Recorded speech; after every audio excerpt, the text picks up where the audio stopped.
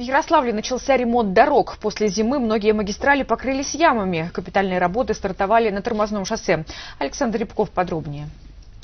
В этом году дорожные работы начали в апреле. На тормозном шоссе планируется расширение проезжей части и укладка двойного слоя асфальта. В конце мая работы уже будут завершены. Вслед за тормозным шоссе планируется отремонтировать еще порядка 20 улиц. Уже идут работы на улице Ярославской, а в скором времени дорожная техника появится на улице Гагарина и проспекте Дзержинского. Надеемся, в этом году подрядчики поняли все свои уроки э, и будут делать качественно дороги.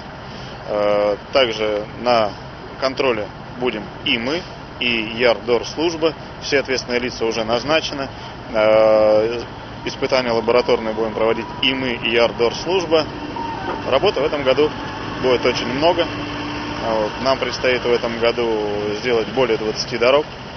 Так что сезон строительный начался. Можете пожелать нам удачи. Контроль за проведением дорожных работ будет проводиться на каждом этапе. Следить за технологией будут серьезно, даже в выходные и праздничные дни. Ну, правила, конечно, жесткие. Жесткие. Технадзоре сейчас очень...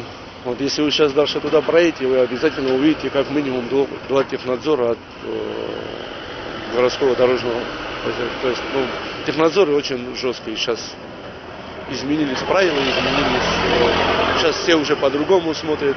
Слава богу, у нас в городе теперь каждый второй стал дорожником. То есть все, все в дорогах понимают, все снимают. Так что будем подстраиваться под них. Будем, мы будем делать свою, э, свою работу добросовестно и качественно.